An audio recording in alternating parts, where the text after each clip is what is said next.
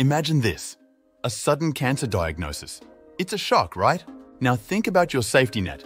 Does your critical illness insurance in New Zealand cover the big C? The answer yes, but it's a bit more complicated than a simple yes or no. Here's what you need to know in a nutshell Advanced cancers, generally covered with a lump sum that can be a game changer, but the early stages or less aggressive types. Coverage varies, so study your policy as if your financial future depends on it, because it does.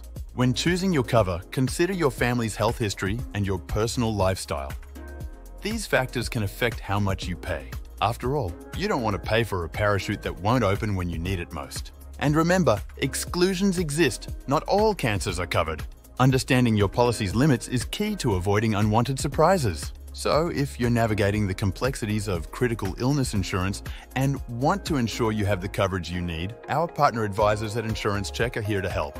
Visit https insurancecheck.co.nz today. Let's get you that peace of mind you deserve. Ensure your financial safety net against cancer with Insurance Check. Contact us now